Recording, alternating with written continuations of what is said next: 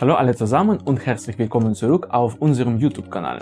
Sehen Sie sich unsere beste äh, RAID-Wiederherstellungssoftware an.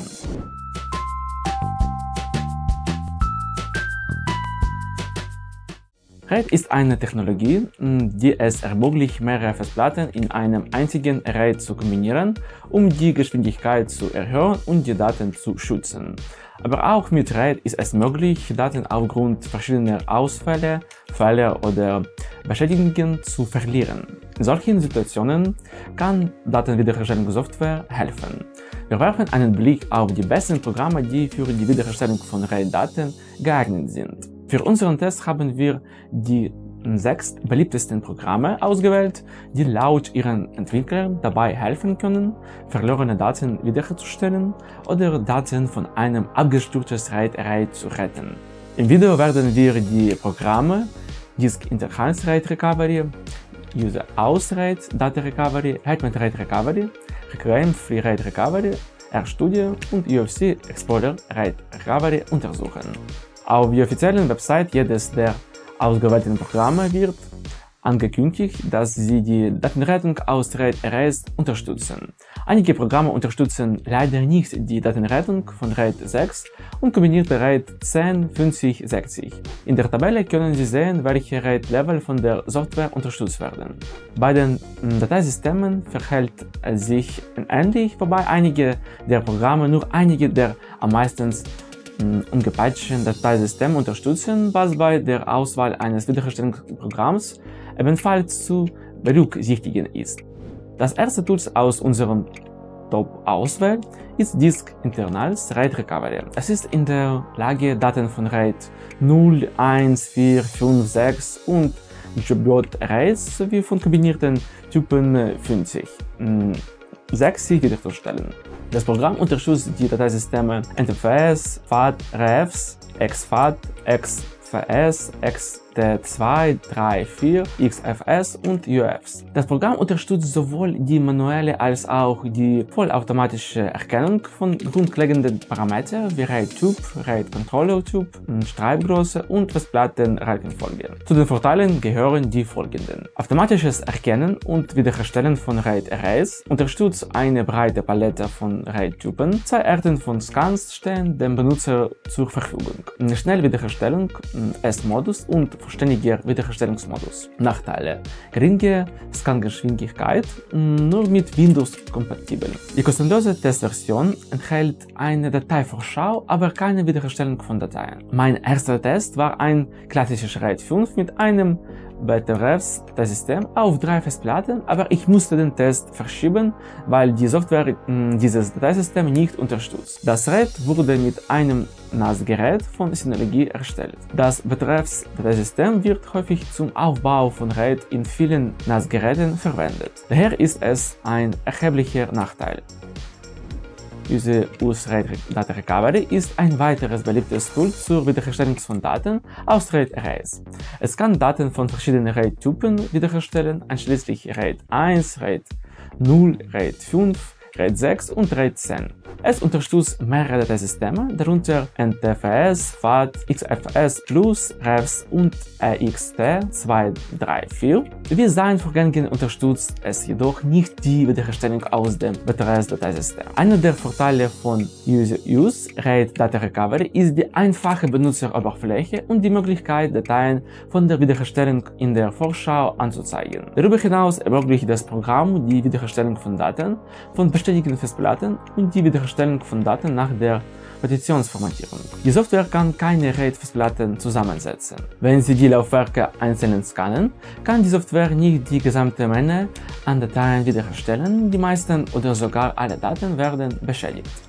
Der Punkt ist, dass beim Speichern von Dateien auf einem Festplattenarray diese teilweise auf jede Festplatte geschrieben werden, sodass Teile einer einzelnen Datei auf alle Festplatten des Arrays geschrieben werden können. Wenn Sie eine Festplatte auslesen, kann die Software nur einen Teil der Datei wiederherstellen. Außerdem haben sich einige Benutzer über lange Scan- und Wiederherstellungszeiten beschwert und darüber, dass einige Dateien nicht wiederhergestellt werden konnten. Dritte Software auf der Liste Hackman Rate Recovery. Hackman Rate Recovery ist eine leistungsstarke RAID-Wiederherstellungssoftware. Sie ermöglicht die Wiederherstellung von Daten mm, aus allen gängigen RAID 0, 1, 4, 5, 6 sowie aus RAID kombinierten von 10, 50, 60 etc.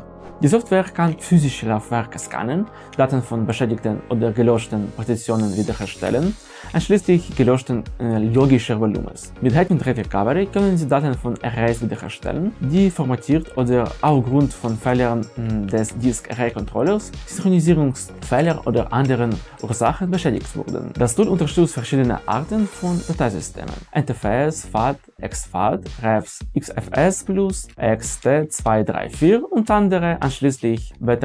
Happy Thread Recovery hat eine intuitive Benutzeroberfläche, die es Ihnen ermöglicht, schnell mit der Wiederherstellung von Daten zu beginnen, ohne dass Sie mehrere Seiten der Dokumentation studieren müssen. Es ist sowohl für Anfänger mm, als auch für professionelle Anwender mit Erfahrung in der Datenrettung einfach zu bedienen. Es enthält eine Funktion zur Erstellung von Disk Images, die für eine spätere Wiederherstellung verwendet werden können, wodurch die Originaldaten von weiteren Schäden geschützt werden. Mit der Software können Sie eine Vorschau der Datei anzeigen und auswählen, welche Dateien wiederhergestellt werden sollen. Sie können damit sowohl Daten aus einem zerstörten RAID als auch verschiedentlich gelöschte Dateien wiederherstellen, sowohl von physischen als auch von Netzlaufwerken wie zum Beispiel ICCSI. Happy Recovery läuft unter Windows und unterstützt die meisten Arten von Festplattenarrays. Es kann auch äh, Dateien von anderen Systemen wiederherstellen, da es die meisten Dateisysteme unterstützt. Wie Sie sehen können, hatte das Programm keine Probleme, die zerstörten RAID-Festplatten wieder zusammenzusetzen. Äh, die Software identifizierte den RAID-Typ, das Dateisystem und andere Parameter des Arrays. Es gibt zwei Arten der Analyse, die schnelle Suche und die vollständige Analyse. Die vollständige Analyse umfasst eine Suchoption aus der Grundlage von Dateiinhalten. Das Programm zeigt die Daten bereits nach dem Schnellscan an, was um eine Menge Zeit erspart hat, da die Dauer der vollständigen Analyse viel geringer ist. Die Struktur des Festplattenarrays, alle Ordner und Dateinamen bleiben erhalten. Die Software hat diesen Test sehr gut gemeistert. Auf der Plusseite kann folgendes hervorgehoben werden. Das Programm ist einfach zu bedienen und dennoch funktionell. Es enthält viele gespeicherte Voreinstellungen von Array-Kombinationen, die von bekannten Controller-Herstellern verwendet werden. Das spart Ihnen Zeit. Es werden alle wichtigen RAID-Levels unterstützt. Es gibt auch eine portable Version des Programms. Nachteile. Kann nur auf Windows-PCs installiert werden. Mit der kostenlosen Version können Sie keine Dateien wiederherstellen, sondern sie nur ansehen. Die folgende Claim Mini Freight Recovery Software. Diese kostenlose Software kann Daten von allen Arten von RAID Arrays wiederherstellen und unterstützt alle wichtigen Dateisysteme. Die Daten werden automatisch wiederhergestellt, was die Verwendung dieses Programms einfach und benutzerfreundlich macht. Aber die tatsächliche Wiederherstellung der Daten ist mühsam. Die Software setzt ein zerstörtes RAID nicht automatisch wieder zusammen. Um den Scanvorgang zu starten, müssen Sie die Festplatten markieren, aus denen es bestand und auf die entsprechende Schaltfläche klicken, um den spezifischen RAID-Typ zu starten. Es gibt keine Möglichkeit, die Art der Analyse auszuwählen und es ist auch nicht möglich, den Inhalt der Festplatten in der Vorschau anzuzeigen. Die Analyse der Festplatten dauert recht lange. Es wird wahrscheinlich eine Inhaltssuche durchführen, deren Ergebnisse eine oder mehrere Stunden warten müssen. Das Programm belegt den letzten Platz in unserer Top-Liste. Ja, es hat einen wichtigen Vorteil. Es ist kostenlos, aber ob Ihnen die Zeitersparnis das wert ist, müssen Sie selbst entscheiden. Möglicherweise müssen Sie sich trotzdem nach einem anderen Programm umsehen.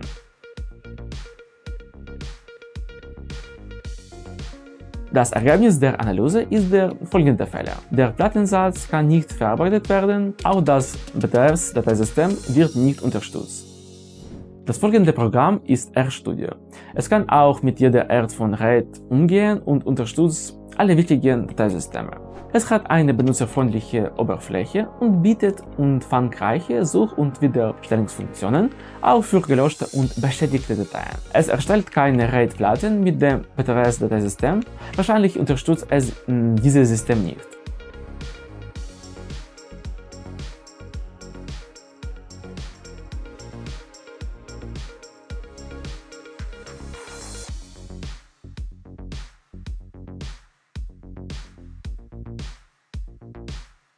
EXE Explorer ist ein leistungsfähiges und zuverlässiges Datenrettungsprogramm für die Wiederherstellung von Daten aus RAID, RS sowie anderen Datenspeichern wie Festplatten, CCD-Laufwerken, Flash-Laufwerken und CD-DVD-Disk.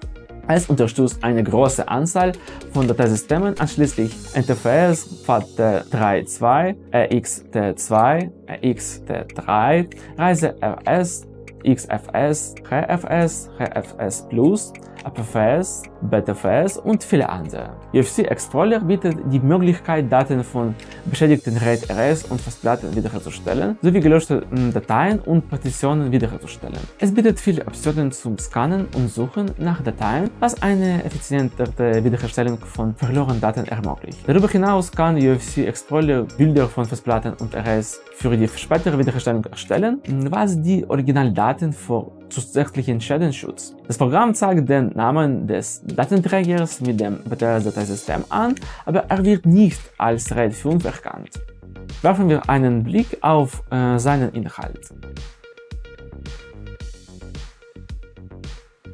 Wie Sie sehen können, ist es gelungen, das abgestürzte RAID aus den Festplatten wieder zusammenzusetzen, alle Dateien zu finden, die Struktur, Dateinamen und Orden zu speichern.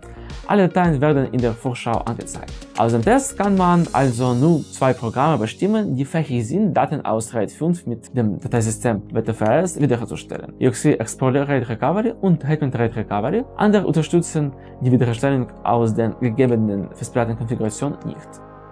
Unser nächster Test wird mit dem Testsystem EXT4 durchgeführt und alle Programme aus dieser Liste unterstützt an. Schauen wir mal, ob Sie das RAID aufbauen und Dateien daraus wiederherstellen können. Also der erste aus der Liste ist Disk Internals. Wie Sie sehen können, hat das Programm ein RAID aus den Festplatten gebaut, den Typ bestimmt und die Festplatte angesetzt, die Sie unsere Datenpartitionen sehen können. Hier ist die Funktion, um den Inhalt der Festplatte zu sehen, wenn die Daten nicht gelöscht wurden. Reicht es, die restlichen Dateien auf der Festplatte zu sehen. Der Rest der Dateien ist dort, wo er sein sollte. Eine Vorschau ist verfügbar.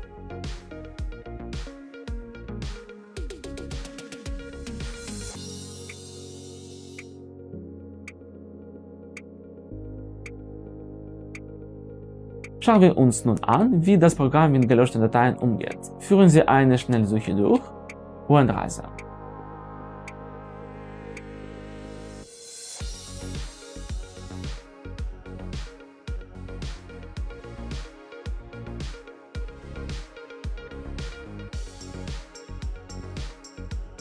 Das Programm hat gelöschte Dateien gefunden, aber sie sind alle gelöscht und werden nicht in der Vorschau angezeigt. Solche Dateien können nicht wiederhergestellt werden. Das Programm kann mit einer schnellen Datenträgeranalyse keine Dateien wiederherstellen. Ein vollständiger Scan dauert viel länger.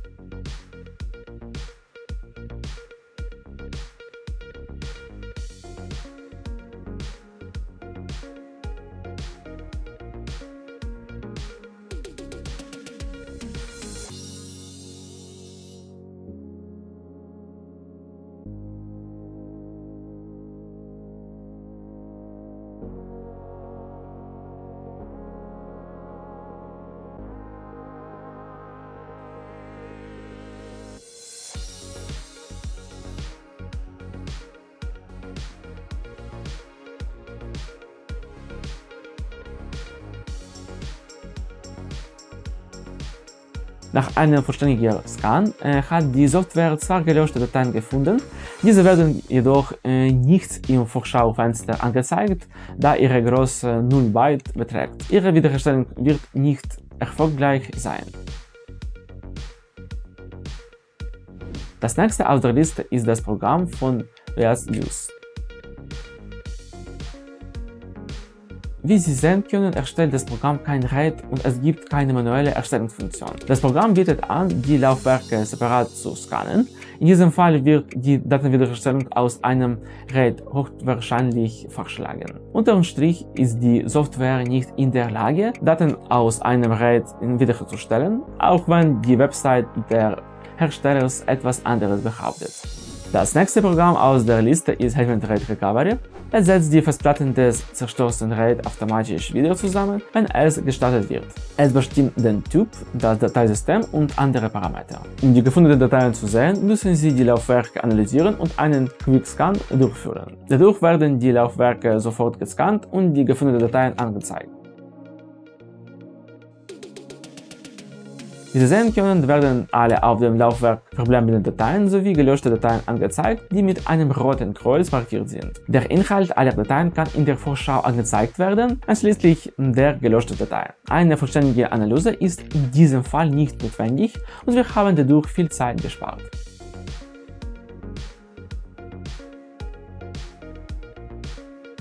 Schauen wir uns an, was das kostenlose Reclaim leisten kann. Überprüfen Sie die Festplatten und starten Sie einen RAID 5 Scan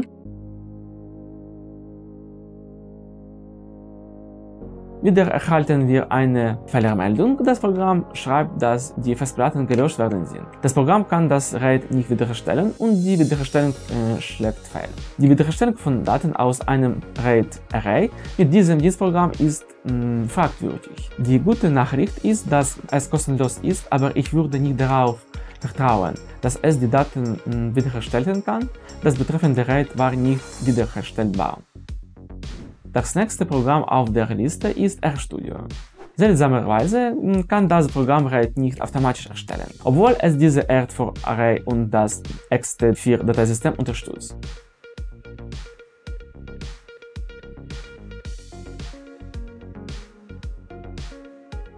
Auf der Habenseite steht, dass es recht funktionell ist und die meisten RAID-Konfigurationen und Dateisysteme unterstützt. Aber der Nachteil ist, dass es im Test verschwendende Konfiguration nicht unterstützt.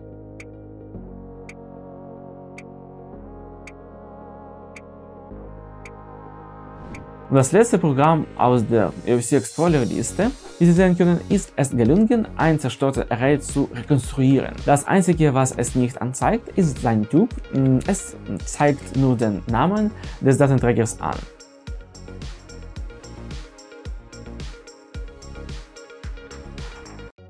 Im Ansichtsmodus zeigt es die Dateien an, die auf dem Datenträger übrig geblieben sind, aber das Programm zeigt nicht ihren Inhalt an. In anderer Ordnung werden die Dateien angezeigt. Gelöschte Dateien werden im Ansichtsmodus nicht angezeigt.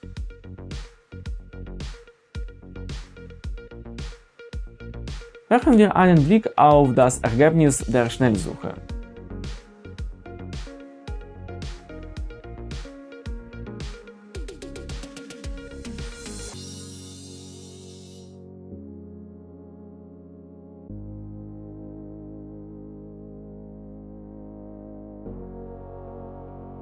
Nach der Schnellüberprüfung ändert sich nichts. Das Programm hat keine gelöschten Dateien gefunden, einige von ihnen werden im Vorschau-Modus nicht angezeigt.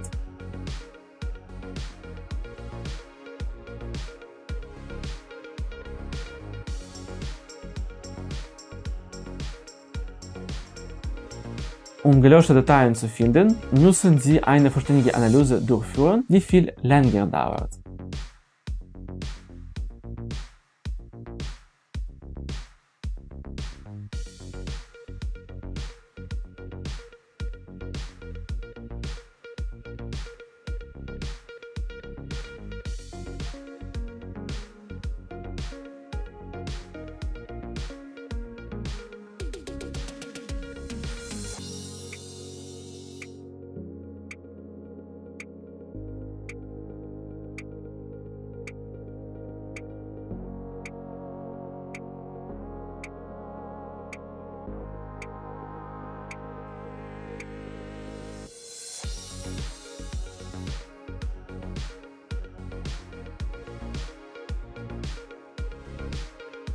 Im Ergebnis konnte die Software auch nach einer vollständigen Analyse keine gelöschten Daten finden. Positiv ist, dass die Software sehr funktionell ist und die meisten Arten von RAID und Dateisystemen unterstützt. Der Nachteil ist, dass es nicht in der Lage war, gelöschte Dateien in der RAID-Testkonfiguration zu finden. Zusammenfassend hatten wir sechs Tools im Test und Sie haben die Ergebnisse gesehen, sodass Sie nun entscheiden können, welches für Sie das Richtige ist. Wie Sie mh, gesehen haben, hat jedes Tool seine eigenen Eigenschaften und Vor- und Nachteile, aber die Wahl hängt von Ihren eigenen Bedürfnissen und Vorlieben ab. Und abhängig davon, für welche Software Sie sich entscheiden, ist es wichtig, dass Sie bei der Arbeit mit RAID Arrays bestimmte Regeln beachten, um eine Verschlimmerung der Situation zu vermeiden. Denken Sie daran, regelmäßig Datensicherungen zu erstellen und wenden Sie sich an einen Fachmann, wenn Sie Schwierigkeiten bei der Wiederherstellung Ihrer Daten haben. Und das war's. Wir hoffen, dass Sie unsere Informationen nützlich fanden und dass sie Ihnen bei der Auswahl der mm, besten RAID-Wiederherstellungssoftware geholfen haben. Denken Sie daran, dieses Video zu liken, vergessen Sie nicht, unseren Kanal zu abonnieren, stellen Sie Ihre Frage in den Kommentaren unter dem Video. Vielen Dank fürs Zuschauen, auf Wiedersehen!